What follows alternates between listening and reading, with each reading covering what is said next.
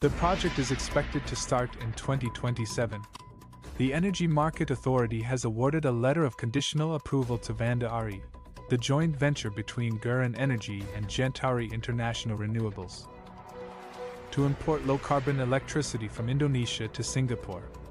In a statement, Gurin Energy, which owns 75% of the JV, said the conditional license was one of the five jointly awarded by the Indonesian and Singaporean governments to facilitate cross border green electricity trade.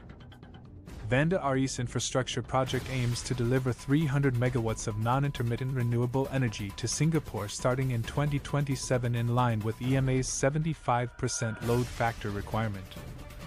The electricity will be produced from 2,000 megawatts MW of solar power and around 4,400 MW hours of battery energy storage on the Riau Islands in Indonesia.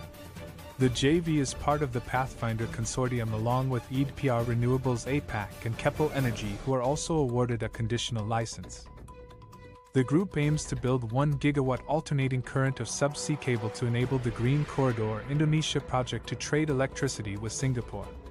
Aside from this, the consortium will also partner with leading solar photovoltaic and battery energy storage suppliers to invest in solar and battery manufacturing plants in Indonesia.